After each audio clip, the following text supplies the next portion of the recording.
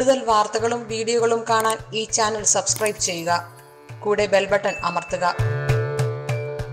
നമസ്കാരം. ഏഷ്യ ടിവിയുടെ എപ്പിസോഡിലേക്ക് എല്ലാ മന്യപ്രേക്ഷകർക്കും സ്നേഹം നിറഞ്ഞ ഹൃദയം നിറഞ്ഞ സ്വാഗതം. ഇന്നത്തെ നമ്മുടെ വിഷയം എന്ന് വെച്ച് കഴിഞ്ഞാൽ നിരന്തരമായിട്ട് വലിയ തടസ്സങ്ങൾ വന്നു കഴിഞ്ഞാൽ അതായത് നമുക്ക് ഈ ഓരോ ഗ്രഹങ്ങൾ മാറുന്നതനുസരിച്ചിട്ട് അതായത് ഇപ്പം ഉദാഹരണം ശനി മാറുന്നു. ശനി മാറുന്നത് നമുക്ക് ഒന്ന് രണ്ട് പന്ത്രണ്ടിലൊക്കെ വന്നു കഴിഞ്ഞാൽ നമുക്ക് ഏഴര ശനി മുതലായ ദോഷങ്ങളായിട്ടും നമ്മുടെ ചന്ദ്രാൽ അഷ്ടമത്തി വന്ന അഷ്ടമശനി ദോഷമായിട്ടും അതുപോലെ ഏഴിൽ അതുപോലെ നാലിൽ ഒക്കെ വന്നു കഴിഞ്ഞാൽ നമുക്ക് കണ്ടകശനി ദോഷമായിട്ടും ഒക്കെ നമ്മൾ പറയാറുണ്ട് അല്ലേ? അപ്പം ഈ അതുപോലെ വ്യാഴം ഷഷ്ടാഷ്ടമത്തി വരിക പന്ത്രണ്ട് വരിക മൂന്ന് വരിക ഇതൊക്കെ നമുക്ക് ദോഷകരമായിട്ട് പറയാറുണ്ട്. അപ്പം നമുക്ക് ഇങ്ങനെ ജാതകവശാൽ ഗോചരവശാൽ അതിൽ ജാതകശാല ഗ്രഹനില നമ്മൾ ചിന്തിക്കുമ്പോൾ അംശമുണ്ട് ഭാവസ്ഥിതി സ്ഫുടങ്ങളൊക്കെ പരിശോധിക്കുമ്പോൾ നമുക്ക് ഈ ദശാകാലങ്ങളൊക്കെ പരിശോധിക്കുമ്പോൾ ഇവയൊക്കെ ഗുണകരമായിട്ട് ഇപ്പോൾ ദശ അപഹാരം ഗോചരം ഒക്കെ ഗുണകരമായിട്ട് നിൽക്കുകയാണോ നമ്മൾ ആദ്യം നമ്മൾ ചിന്തിക്കണം. അപ്പം അങ്ങനെ നിൽക്കുന്ന ഒരാൾക്ക് നിരന്തരമായിട്ട് തടസ്സങ്ങൾ വരുന്നുണ്ടെങ്കിൽ തീർച്ചയായിട്ടും നമ്മൾ നിശ്ചയിച്ചോണം നമുക്ക് ഈ ശത്രുപരമായ ദോഷങ്ങൾ ദൃഷ്ടിപരമായ ദോഷങ്ങൾ വെളിച്ചപേക്ഷ മുതലായ ദോഷങ്ങൾ ശാപ താപാതി സുഹൃതക്ഷയ ദോഷങ്ങൾ ഇവയൊക്കെ കൊണ്ടാവാം. അപ്പം നമുക്കതിൽ ഏത് വിഷയങ്ങളാണ് നമ്മളത് കണ്ടെത്തണം. കണ്ടെത്തുന്നതിനകത്താണ് കാര്യമിരിക്കുന്നത്. അപ്പം നമുക്ക് ദൃഷ്ടി ദോഷമാണെങ്കിൽ പൊതുവെ എല്ലാവരും പറയാറുണ്ട് കടുകുപ്പും മുളകൊക്കെ ഉഴിയിടാനായിട്ട് അപ്പം അത് നമുക്ക് ഉഴിയിടുമ്പോഴും വളരെ ശ്രദ്ധിക്കേണ്ട കാര്യമുണ്ട്.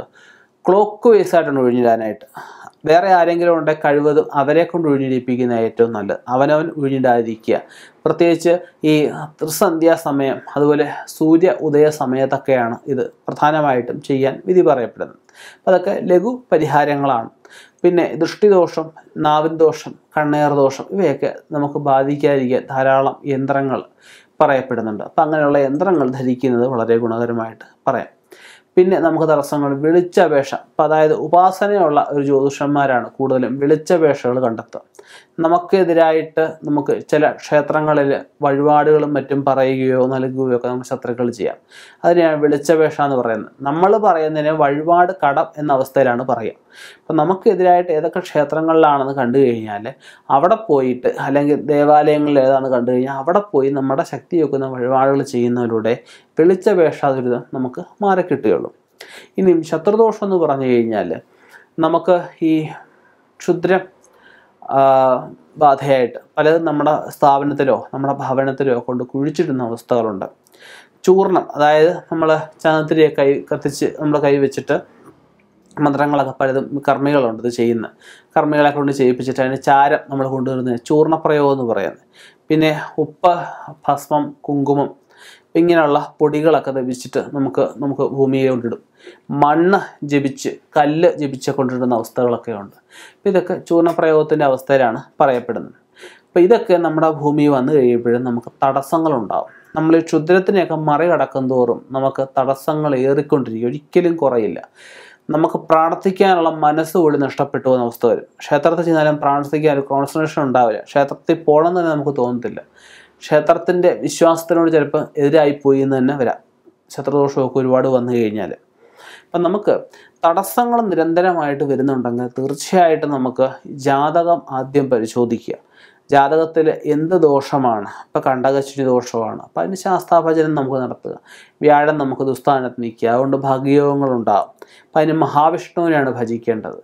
അതുപോലെ നമുക്ക് സാമ്പത്തികം ശുക്രൻ നമുക്ക് ദുസ്ഥാനത്ത് നിൽക്കാൻ ശുക്രനെ വെള്ളിയാഴ്ച വ്രതം എടുക്കുക മഹാലക്ഷ്മി സ്തോത്രങ്ങളൊക്കെ ജപിക്കുക മഹാലക്ഷ്മി അഷ്ടകം ജപിക്കുക മഹാലക്ഷ്മി സഹസ്രനാമം ജപിക്കുക ഇതിലൊക്കെ നമുക്ക് ആ ശുക്രന്റെ ദോഷങ്ങളെ മാറ്റിയെടുക്കാൻ പറ്റും.